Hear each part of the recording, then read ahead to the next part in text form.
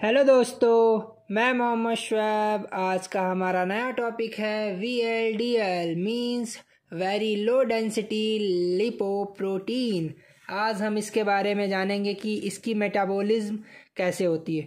तो पहली बात तो वेरी लो डेंसिटी लिपोप्रोटीन जो है वो हमारा लीवर में बनता है। जब ये लीवर में बनेगा तो ये बाहर निकलेगा। जब जैसे ही ये लीवर से बन के बाहर निकलता है, इसको बोलते हैं nascent V L D L nascent मतलब अभी बिल्कुल छोटा सा बच्चा है। अभी अभी ये क्रिएट हुआ है। तो इसको बोलते हैं nascent V A V L D L अब nascent V L D L के पास क्या होगा? ट्राई एसाइल ग्लिसराइड या फिर इसी को हम लोग ट्राई ग्लिसराइड या फिर टैग बोलते हैं। उसके साथ साथ इसमें कोलेस्ट्रॉल होगा। इसके बाद, इसमें एक मेजर एपोप्रोटीन होगी, जिसका नाम होगा बी हंड्रेड अब नेसेंट वीएलडीएल आगे चल के मैच्योर होना चाहेगा। तो मैच्योर होने के लिए इसे कुछ बाहर से फैक्टर की ज़रूरत पड़ेगी। जैसे ह्यूमन की बॉडी ही है अगर वो मैच्योर होना चाहेगी तो उसको थोड़ा बाहर से प्रोटीन कार्बोहाइड्रेट सब कुछ चाहिए मिनरल वगैरह। तो इसी तरीके से इसमें इसको, इसका कार्बोहाइड्रेट प्रोटीन मिनरल कौन है? H D L H D L क्या करेगा? Nascent V L D L को अपना सी टू और ई e प्रोवाइड करा देगा, जिसके कारण नेसेंट वी अब mature V L D L में कन्वर्ट हो जाएगा। अब mature V L D L के पास क्या होगा? ट्राई वही टैग होगा कोलेस्ट्रॉल के बाद। एपो बी हंड्रेड के साथ साथ एपो ई भी आ जाएगा और एपो सी टू प्रेजेंट होगा। अब जो तुम्हारा mature V L D L होगा, इसमें क्या है? Triacylglyceride triacylglyceride को जो है अब यहाँ से कंज्यूम करना है, ख़त्म करना है, इसका ब्रेकडाउन करना है। तो इसको मेच्योर होने के लिए सी टू की ज़रूरत पड़ी थी। सी टू का मेन काम होता है जो एल पी एल होता है, उसको एक्टिवेट करना। तो C two L P L को एक्टिवेट करेगा। जब एल पी एल एक्टिवेट होगा, तब ये टैग को ब्रेक डाउन कर देगा फ्री फैटी एसिड और ग्लिसरॉल में। और जब ये फ्री फैटी एसिड और ग्लिसरॉल में ब्रेक डाउन हो जाएगा तो इसको मसल एडिपोज टिश्यू कंज्यूम कर लेंगे। अब इसमें टैग का कंटेंट बहुत हद तक कम हो गया। तो आगे चल के ये क्या बदल जाएगा? वी एल डी एल से आगे चल के आइडियल बन जाएगा। इसमें टैग का कंटेंट कम हो गया तो आइडियल के पास टैग कम अमाउंट में होगा, जबकि कोलेस्ट्रो ईस्टर और कोलेस्ट्रॉल ज़्यादा अमाउंट में होगा। अब लीवर के पास ई e का रिसेप्टर होता है ई e की बाइंडिंग साइट लीवर जो है, ये आइडियल को बांधने के लिए देखता है कि इसके पास एपो ई है। अगर एपो ई होगा तो ये उससे कहेगा, आओ, मैं तुमको बाँध लेता हूँ।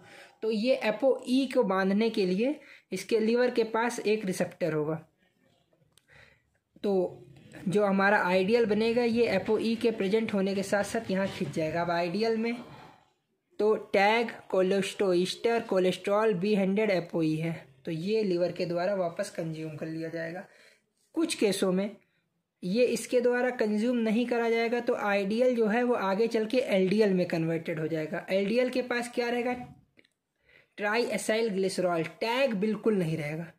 इसके पास क्या रहेगा? कोलेस्टोइस्टर और कोलेस्ट्रॉल इस, उसके साथ साथ बी हंड्रेड प्रोटीन रहेगी। अब एलडीएल का रिसेप्टर जो होता है वो पेरिफेरल टिश्यू के पास होता है तो एलडीएल को इधर खींच लाएगा। एल जो होता है, उस पर लाइसोसोम वर्क करके लाइसोसोम में जाएगा वर्क करेगा तो उसको फ्री कोलेस्ट्रॉल और अमीनो एसिड में तोड़ देगा।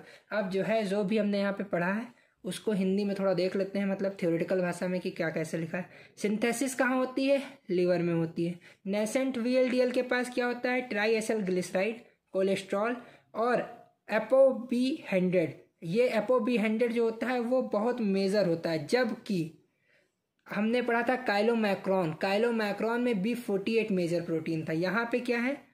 एपो बी हंड्रेड एक मेजर प्रोटीन है। अब हम बात करते हैं मैच्योर वीएलडीएल की। मैच्योर वीएलडीएल में होता है TAG, cholesterol, apo B hundred, apo C two and apo E मिलेगा। देन आगे बात करते हैं। मेटाबॉलिज्म ऑफ़ वीएलडीएल तो when they reach the peripheral tissue जब ये पेरिफेरल टिश्यू के पास पहुँचता है तो इसका C2 जो है, वो एक्टिवेट हो जाएगा। C2 एक्टिवेट LPL LPL का क्या काम करेगा? टैग को जो है फैटी एसिड में कन्वर्ट कर देगा। Fatty acid are taken up by adipose tissue and muscle remnant is now IDL IDL मतलब intermediate density lipoprotein IDL contain TAG ज़्यादा कम होगा और मोर कोलेस्ट्रॉल होगा। आइडियल फर्दर लॉस करेगा ट्राइग्लिसराइड और टैग कन्वर्ट हो जाएगा एलडीएल में। IDL taken by hepatic receptor hepatic receptor कहाँ प्रेजेंट होते हैं? लीवर में प्रेजेंट होंगे। अब बात करते हैं पाथवे की। लिपोप्रोटीन कास्केड पाथवे इसमें क्या होगा? वीएलडीएल से आइडियल फिर एलडीएल बनेगा। तो वीएलडीएल से आइडियल बनना आइडियल से एलडीएल बनने की प्रोसेस को हम लोग बोलते हैं लिपोप्रोटीन कास्केट पाथवे अब फ़ंक्शन ऑफ़ वीएलडीएल की अगर हम बात कर लेते हैं तो फ़ंक्शन ऑफ़ वीएलडीएल जो होता है वो कैरी करता है। क्या? टैग को। कहाँ से? From liver to peripheral tissue पर इसमें जो ये टैग होता है ना ये होता है इंडोजीनस। इंडोजीनस का मतलब होता है ये बॉडी के अंदर बनता है। कहाँ बनता है? लीवर में बनता है। जबकि काइलोमैक्रोन का भी यही फ़ंक्शन था। पर उसमें जो वो टैग का ट्रांसपोर्ट करता था लीवर से पेरिफेरल टिश्यू में, वो डाइटरी कोलेस्ट्रॉल था। तो उसमें एक्जोजीनस होता है, इसमें इंटोजीनस होता है। एक और चीज़, काइलोमैक्रोन साइज़ में बड़े होते हैं। जबकि अगर हम वीएलडीएल की बात करें तो ये साइज़ में काइलोमैक्रोन की अपेक्षा छोटे होते हैं। तो आज के लिए इतना ही मिलते हैं नेक्स्ट वीडियो में धन्यवाद।